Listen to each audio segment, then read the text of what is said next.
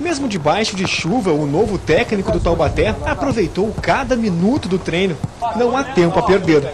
Se tiver jogo com chuva, a gente tem que jogar, então não importa o estado, nós temos que trabalhar e firme para alcançar o nosso objetivo.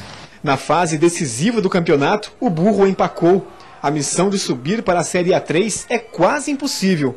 O Taubaté precisa vencer e ainda torcer por outros resultados, mas a matemática permite sonhar.